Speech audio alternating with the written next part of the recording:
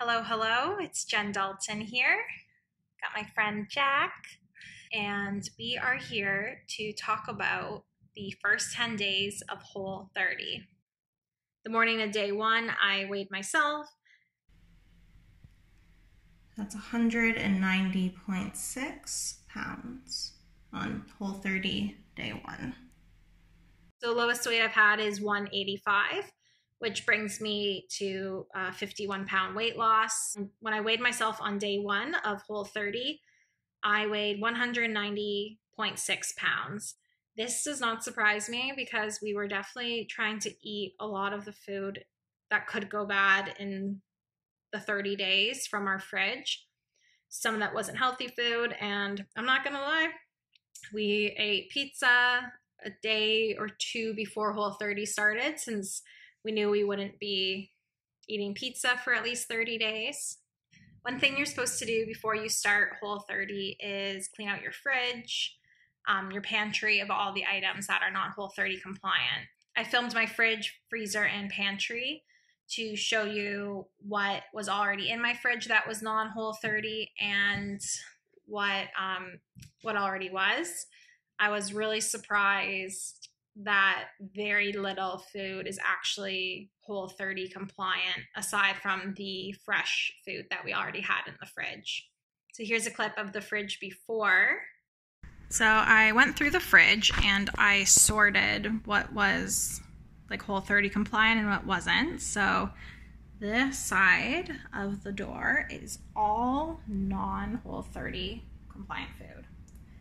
So you've got pickles, teriyaki sauce, seafood sauce, hummus, um, Heineken beer, salad dressings, and sugar, no sugar added ketchup, which you think wouldn't have sugar in it, but it actually has sucralose, which is a sweetener. And then we got some maple syrup, so natural sugar, but still not allowed, sriracha sauce, which has sugar in it, and then obviously jam and chocolate and caramel sauce have lots of sugar in them. Then on this side, we've got olives, applesauce, yellow mustard, garlic, Dijon mustard, and Tabasco. Those are all A-OK. So pretty crazy comparison.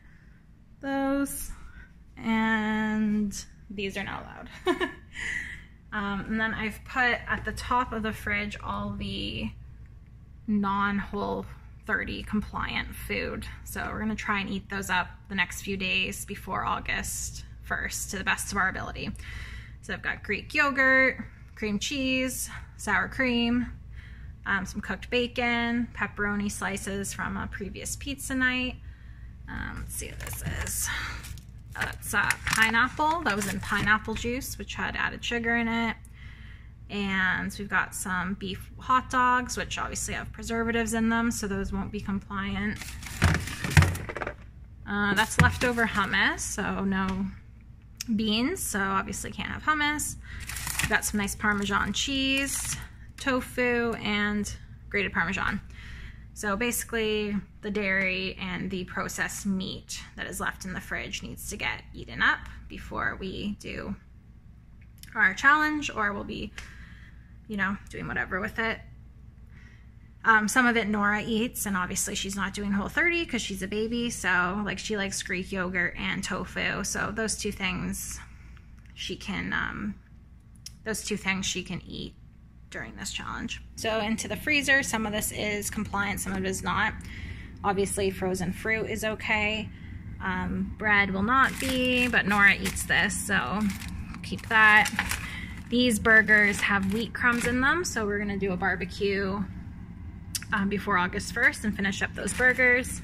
And there's other burgers down there that are just 100% beef, and we'll have those probably during our whole 30.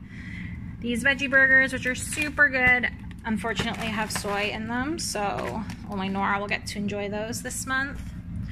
Burger buns, obviously can't have those. And we've got some salmon, which will be okay. Peas, that will be fine. And we've got some corn, which will be fine too. Then we have um, salmon fillets. That will be okay to eat. tons of edamame, which unfortunately will just be for Nora this month. Shrimp, that's Whole 30 compliant. And then we've got some frozen spinach and some smoked salmon. To be honest, I'm not sure if smoked salmon would be allowed because I imagine like cured meats are not, so I'll have to look into that. So this is our, I guess it's our first pantry. This one just has a lot of baking ingredients and seasonings in it. So not much of this is Whole 30 compliant. Flaxseed, yes. Almonds, yes. Pumpkin seeds, yes. Nutritional yeast, yes. Then we've got some rices, some oats in the back, barley, and what's this back here? Oh, panko breadcrumbs. So that would be a no as well. All-purpose flour, sugar, stevia, cocoa powder, none of that would be okay. Got some ground almonds. That is okay. So I'm not too sure, to be honest, what I would use that for, but we will find out. And then the rest is mostly seasoning. Um, pure creamed coconut should be okay because it's literally just creamed coconut. And that up there on its side is vanilla extract, which is not allowed due to the alcohol content.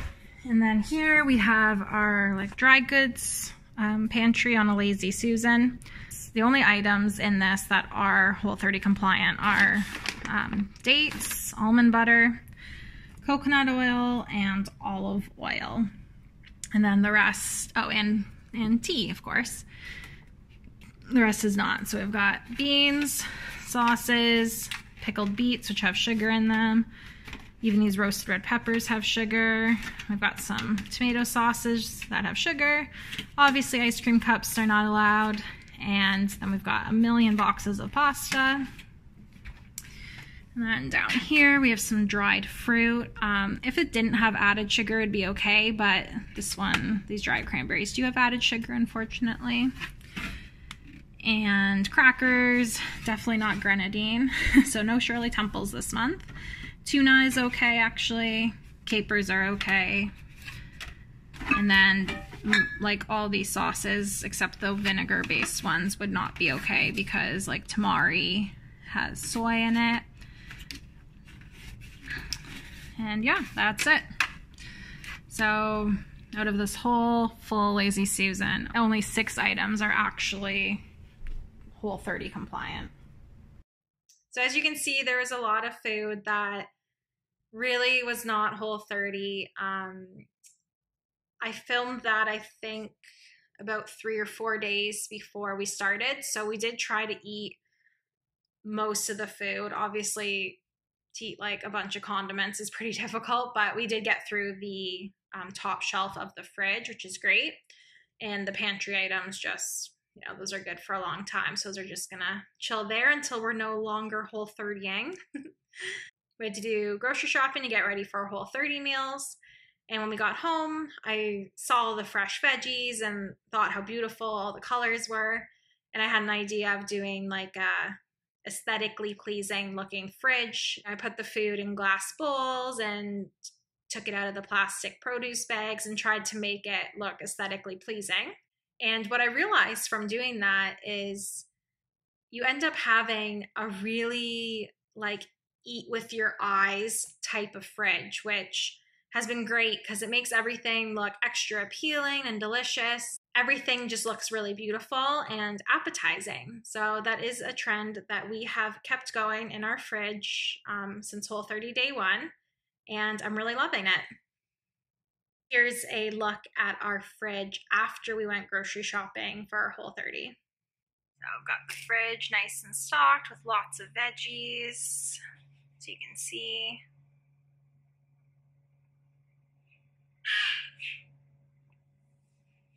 And then not pictured, we've got some more vegetables, some meat, um, lots and lots of food. so it's 4.30 on day one. Um, I'm very hungry. So day one of Whole 30, um, I was really hungry. I don't think I was eating enough food for breakfast or lunch. And I was also faced with my first temptation on day one. I went to my mom and dad's house and they offered me some pop, Um, obviously, I declined. Even though I don't drink pop every day, it's definitely a habit of mine to have like a can when I go visit them. I don't know why, it's just something I always do. So it felt out of routine for sure. But what I have been using is our soda stream. So I carbonate water and then I use um, True Lemon, which is just crystallized lemon. It's Whole 30 compliant. It adds like a nice flavor to it and it's really great. So let me show you what that is.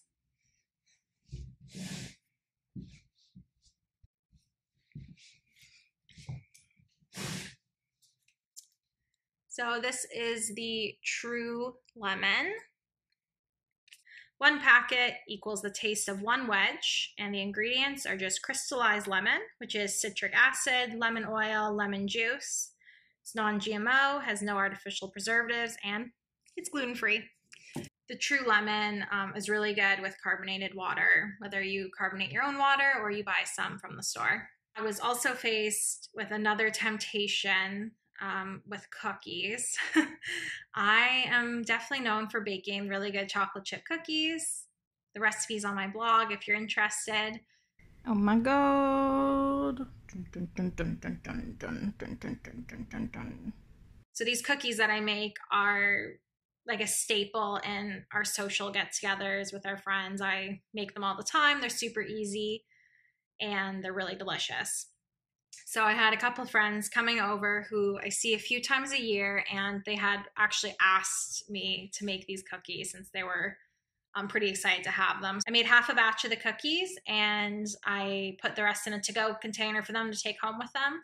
I was really surprised that although it was temptation in the sense like I love these cookies, they smell amazing, I'm used to eating them fairly often. I'm really surprised I didn't crave them as much as I thought I would. Um, one side effect I've had is that I feel chilly pretty often. So I looked on some Whole 30 forums online, and it seemed like it's a pretty common symptom to feel chilly. Um, to be honest, I'm not sure why, but it's not like a terrible chill or anything, but it was noticeably different that I didn't feel as warm as I normally do. Hopefully, it gets better. One of the biggest changes with Whole 30 for me is that I'm eating breakfast now. It is recommended that you eat breakfast on Whole 30. So it definitely felt really abnormal eating breakfast the first few days of Whole 30. It actually made me feel more hungry around lunchtime than I normally would. Thought it was weird, but now that I'm at day 10, I really look forward to breakfast and I'm able to sustain myself much better till lunch. I am missing pizza for sure. In the whole 30 book, she um, the authors talk about the sugar dragon. Uh, for us, it's definitely been the pizza dragon. About every few days, I have a really intense urge for pizza. It's something that we eat for sure three times a month, if not once a week, whether I make it homemade or we order in. It's just a food that I really enjoy, and my husband Chris enjoys it a lot too. So we have been missing pizza. The whole 30 is a test of willpower. And by being able to work through cravings, work through temptations, it's really given me a healthy perspective on how much stronger I am. Like, you don't always have to say yes to the sweets or you know, given to the pizza craving. Like I have my whole life to eat any food I want, and giving up for 30 days isn't that hard. And I'm really appreciating that willpower increase in my life. We're one third through the program, day 10 of Whole 30. I'm feeling really good. And if you're interested in following along with the Breast My Whole 30 journey, as well as my 100 pound goal weight loss journey, give me a follow on Instagram at Chez Dalton and like and subscribe this video so that you stay up to date each week. Hope you all have a great day. Jack and I are signing off. This is my impression of Jack's face. I don't think it's very good. Pizza dragon, rawr, rawr, rawr.